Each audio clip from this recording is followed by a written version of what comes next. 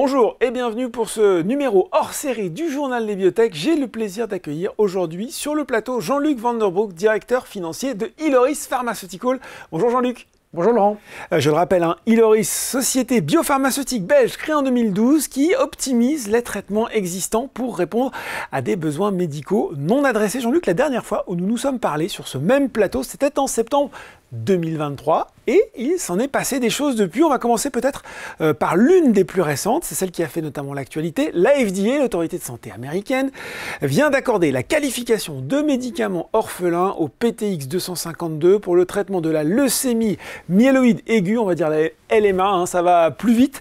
Euh, l'occasion de rappeler peut-être euh, dans un premier temps ce qu'est PTX 252 et son mécanisme d'action dans la LMA. Absolument. Donc c'est une nouvelle entité moléculaire qui, est en développement. C'est une collaboration avec Pleco Therapeutics, qui est une société hollandaise, ainsi que MD Anderson, qui est un centre euh, dans le domaine de l'oncologie. Extrêmement réputé. Hein, exactement, mm. basé aux États-Unis.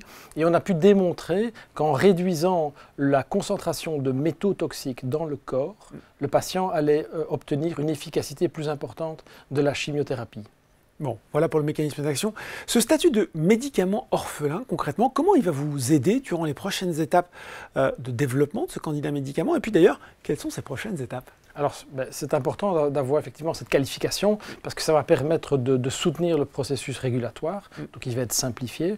On va obtenir des incitants financiers sur le marché américain. C'est des études qui coûtent cher, mm. donc l'incitant financier est un véritable avantage. Et puis, il y a une protection commerciale, une sorte d'exclusivité sur le médicament euh, qui sera commercialisé. Bon, les prochaines étapes, rapidement euh, Rapidement, c'est la discussion avec les autorités euh, régulatoires, principalement, principalement la FDA, mhm. pour déposer un dossier clinique et lancer ce qu'on appelle une phase 2-3 adaptive, adaptative, qui est une phase en fait qui va permettre de proposer le médicament euh, sur le marché après les résultats. Vous avez déjà une idée du calendrier, Jean-Luc, là-dessus? Alors, c'est 12 mois de travail pour la préparation du dossier. Donc, ça veut dire que 2000 fin 2024, début 2025, on va pouvoir démarrer l'essai clinique. Bon voilà, fin 2024, début 2025. Euh, ça c'était pour la nouvelle, l'une des nouvelles les plus récentes. En septembre dernier, je me souviens, il y avait un, suspense, un, cliffhanger, comme on dirait dans les séries, insoutenable. Vous attendiez, vous attendiez l'approbation de la FDA pour un actif stratégique de votre portefeuille, Maxigesic Ivy.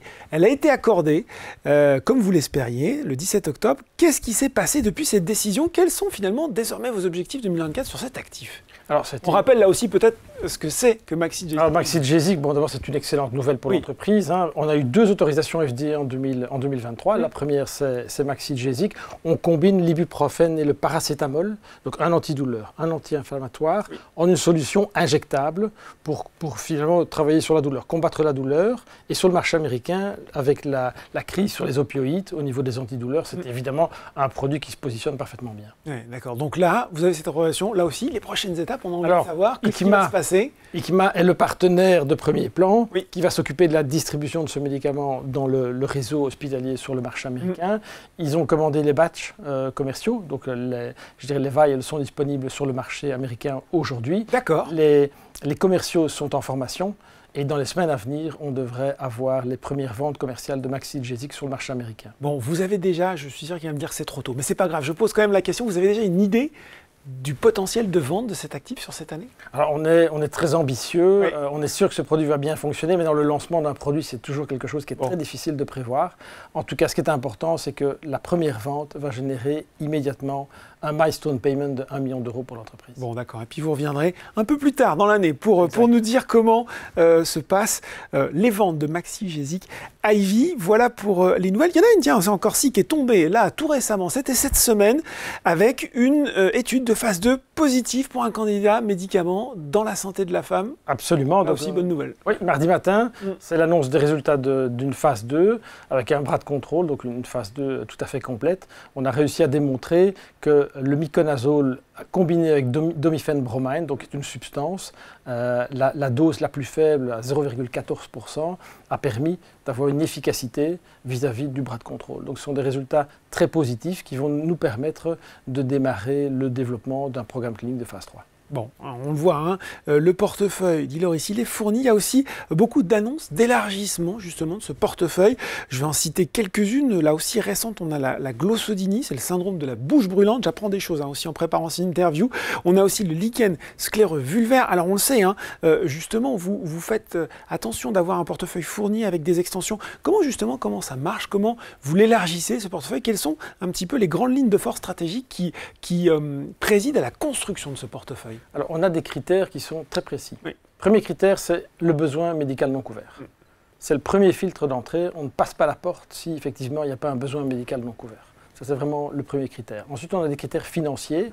Mm. on investit maximum 7 millions, 7 millions d'euros en moyenne sur un développement euh, complet jusqu'à la phase de commercialisation mm. et maximum 7 années de développement. En moyenne, aujourd'hui, on développe nos, produits sur à peu près 5 ans et demi. D'accord. Et on voit... oui, allez-y un return financier important, euh, à peu près 27 fois, 27 fois hein, l'investissement initial. on voit une vraie discipline d'investissement. On voit aussi que, Jean-Luc, il y a des grandes indications, des grandes aires thérapeutiques. La santé de la femme, notamment, en fait partie. C'est sans doute pas la seule. donc, on a en fait trois grands segments dans le portefeuille. On a la moitié, c'est du cardiovasculaire. Mm. C'est quand même la première cause de mortalité euh, dans le monde. Le deuxième, c'est la santé féminine, avec déjà trois produits. Et puis le reste, c'est des produits à haute valeur ajoutée pour traiter euh, des maladies qui sont liées principalement à la douleur ou d'autres maladies typiques. Combien vous ajoutez d'actifs chaque année? Il y a d'autres ajouts qui sont prévus en 2024 Alors, on a une ambition très claire. On veut 30 produits dans le portefeuille. D'accord. À l'horizon 2025. On est à combien là aujourd'hui? Aujourd'hui, on, on a 18 produits. D'accord. Dont 18 produits plus 3 génériques. Donc sur les 21, il y en a 3 qui sont commercialisés. Et donc, entre 21 et 30, il en manque 9 et on travaille d'arrache-pied pour annoncer dans les semaines à venir, ainsi que dans les mois à venir, de nouveaux produits candidats. Bon voilà, il en manque 9 pour atteindre cette liste des 30 ambitionnés euh, par Iloris. On avait évoqué aussi, et vous l'avez d'ailleurs décrit dans les, dans les annonces récentes, l'importance des partenariats, euh, puisqu'on voit que ces traitements dans bon nombre de cas, ils sont faits en partenariat. Est-ce que là aussi, il y a du nouveau à attendre peut-être cette année ou dans les mois qui viennent? Ben, On a déjà annoncé des partenariats, donc euh, euh, ICMA, c'est le partenaire commercial pour Maxigesic. Podophalox, qui est le deuxième produit où on a reçu l'autorisation de marché en décembre de cette année, sera distribué par Padagis, qui est un, je dirais une entreprise de premier plan sur le marché international dans le domaine de la distribution. On a signé deux partenariats de co-développement avec AFT, qui est une société basée en, Nouvelle-Zélande, société cotée, avec qui on va développer ben, le syndrome de la, de la, bouche brûlante, ainsi que euh, le lichen scléreux vulvaire. Là aussi, avoir un, partenaire, c'est une condition sine qua non, souvent, de lancement, ou c'est un, plus, mais pas forcément obligatoire? Non, c'est pas forcément obligatoire. Pour la partie commerciale, mm c'est indispensable parce que nous n'avons pas la vocation d'aller distribuer nous-mêmes les médicaments, sauf pour le portefeuille cardiovasculaire sur le marché américain. Donc, comme un partenaire commercial, ça c'est très important. Pour le, pour le co-développement, si ça apporte une vraie valeur ajoutée, on est ravi de travailler en co-développement. Vos résultats 2023 seront publiés le 14 mars prochain, sans rien dévoiler de confidentiel à ce stade. Euh, est-ce que l'année écoulée s'est euh, déroulée conformément à vos prévisions sur le plan financier? Et puis c'est l'occasion aussi de faire un petit point sur la trésorerie d'Iloris. Euh, les résultats 2023 de Iloris, ils seront connus le 14 mars prochain. Alors je me doute que vous n'allez pas me dévoiler de scoop là maintenant tout de suite. J'ai envie de vous demander, est-ce que l'année déjà s'est déroulée conformément à vos prévisions? Et puis forcément l'occasion aussi de faire un petit point de trésorerie sur la sur un petit point de trésorerie sur Iloris. Alors je ne peux pas vous dévoiler, vous dévoiler, des chiffres très précis bien évidemment. Euh, l'année 2023 a été une année extraordinaire hein, pour, euh, pour Iloris. Beaucoup de développement, deux autorisations de marché de la FDA, ce qui est quand même rare pour une société euh, de, la taille de la taille d'Iloris. on a été très prudent sur la, sur la trésorerie. On a clôturé fin juin 2023 avec une trésorerie de 40 millions d'euros.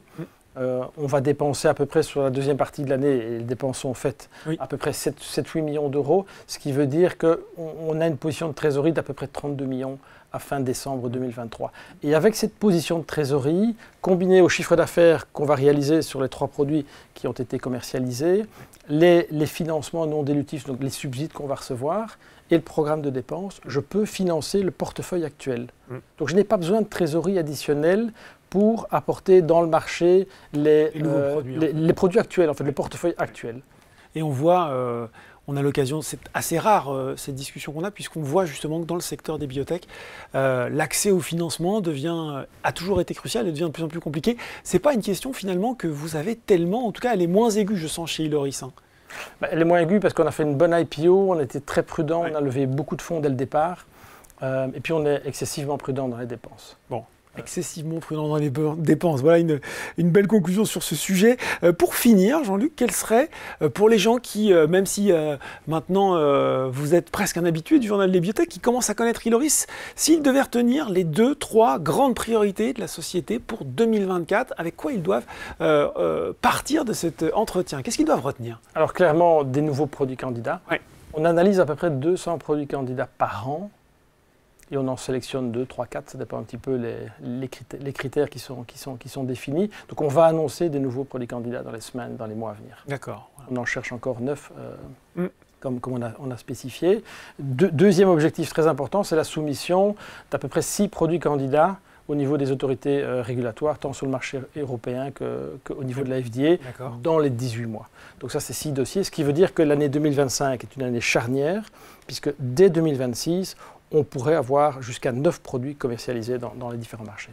Bon ben voilà, la feuille de route est clairement établie avec euh, des annonces, hein, encore euh, quand on écoute bien Jean-Luc Van de qui peuvent tomber voilà, dans les semaines, dans les mois à venir sur Iloris. Merci beaucoup pour toutes ces explications. Merci Laurent. Le journal des bibliothèques, c'est fini, mais on se retrouve très bientôt pour un nouveau numéro.